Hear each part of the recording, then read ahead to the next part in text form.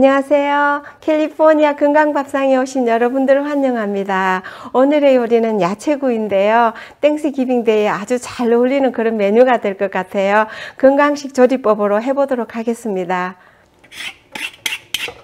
오늘 이 준비하는 재료들은 똑같이 안 해도 되거든요. 뭐 미국에는 yam이 많으니까요. yam을 이용하셔도 돼요. 뭐 그냥 한국 고구마도 괜찮고요.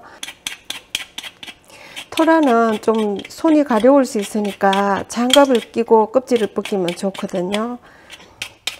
네, 이 비트도 굉장히 좋은 식재료인데요.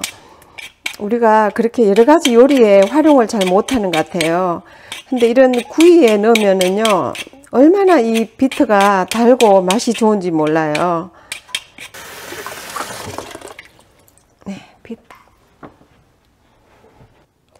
네, 들어가는 야채는 주로 뿌리 채소인 건채류를 준비했는데요. 당근이랑 토란, 알감자, 고구마, 비터, 보라색 고구마, 마늘을 준비했고요. 네, 그리고 단호박이랑 아스파라거스를 좀 준비했어요.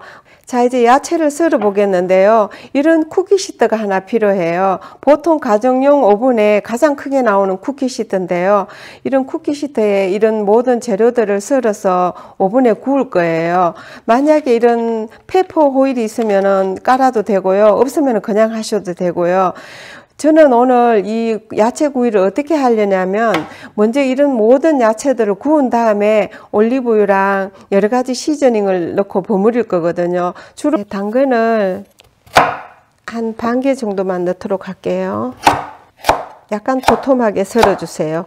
이 네, 알감자도 한 14개를 준비했어요. 이 알감자는 그냥 반으로만 잘라주시면 되겠어요. 놔주시고요.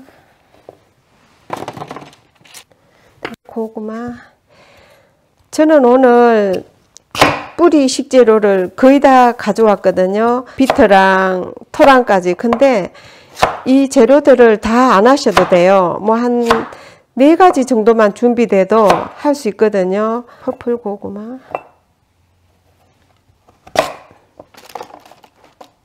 그리고 토란?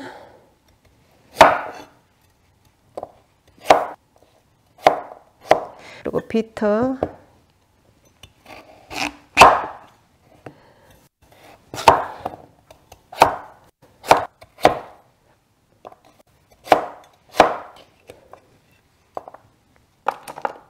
네 그리고 단호박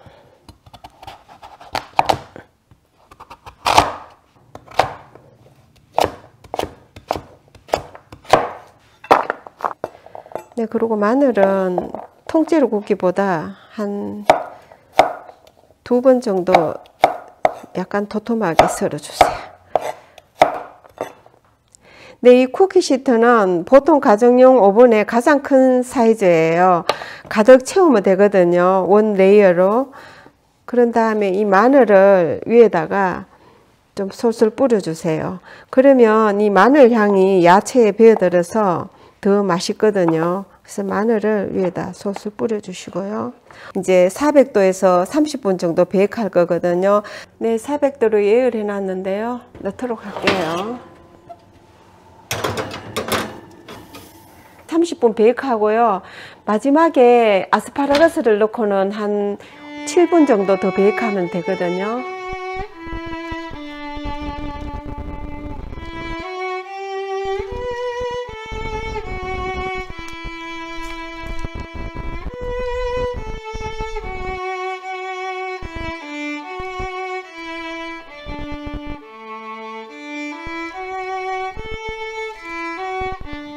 네, 아스파라거스를 좀 썰어 놓도록 할게요.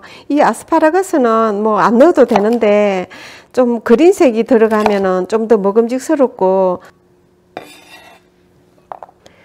네, 한 30분을 구웠는데요.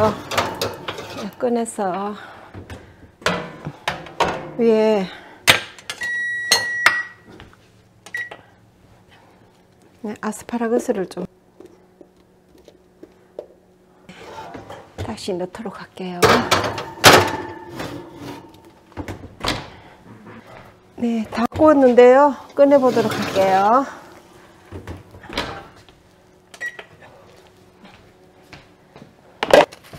네, 다 구워졌네요.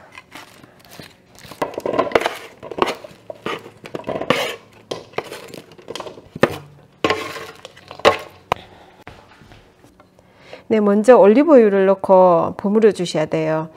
올리브유로 코팅을 해야 마늘 가루라든지 이런 시저닝들이 이 구운 야채에 잘 붙어서 어우러지거든요.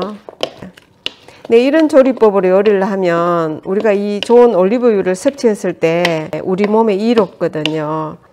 이제 여러 가지 시즈닝들을 넣어 볼 거예요. 먼저 마늘 가루를 좀 넣고요. 마늘 가루. 그리고 이거는 Italian seasoning인데요. 이런 요리에 이런 Italian seasoning을 넣으면 아주 풍미가 있죠. 그리고 양파 가루도 있으면 좀 넣고요. 네, 그리고 이거는 smoked 파프리카 가루인데요. 이것도 좀 넣으시고요. 그리고 후춧가루도 조금 넣고요. 뭐 재료가 다 없으면요. 그냥 올리브유랑 후추 그리고 소금만 양념을 해도 그런 대로 맛이 나요. 마지막으로 소금을 좀 넣도록 할게요. 간이 돼야 되니까요. 소금.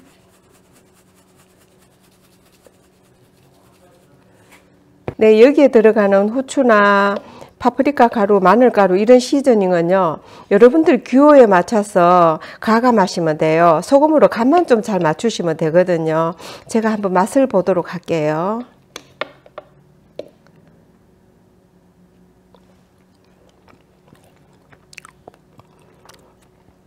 아, 제가 토란을 먹었는데요. 아, 정말 맛있네요. 고급스러운 레스토랑에서 먹는 그런 맛이 나네요. 땡스기빙 dinner table에 너무 잘 어울리는 그런 음식이 될 것 같아요. 그리고 뭐 Thanksgiving Day뿐만 아니라 평소에도 이런 건강식 조리법으로 이런 음식들을 해가 드신다면 너무너무 건강에 많은 유익을 얻으실 것 같아요. 마늘 향이 야채에 배어서요. 얼마나 풍미가 있고 고급스러운 그런 맛이 나는지 모르겠어요. 야채 구이가 완성이 됐는데요. 오늘의 이 건강식 조리법의 키포인트는 야채를 썰어서 오븐에 충분히 구운 다음에 이 올리브 오일과 여러 가지 양념들을 넣고 버무린 거예요. 주로 하는 야채 구이와는 정반대의 방법으로 했는데요. 왜냐하면 이 올리브 오일은 발연점이 났기 때문에 고온에서 구울 경우에 기름이 타서 산패가 돼서 우리 몸에 그리 이롭 지가 않거든요. 그래서 이런 건강식 조리법으로 요리를 하면 참 좋겠다는 생각이 드네요. 네, 감사합니다. 안녕히 계세요.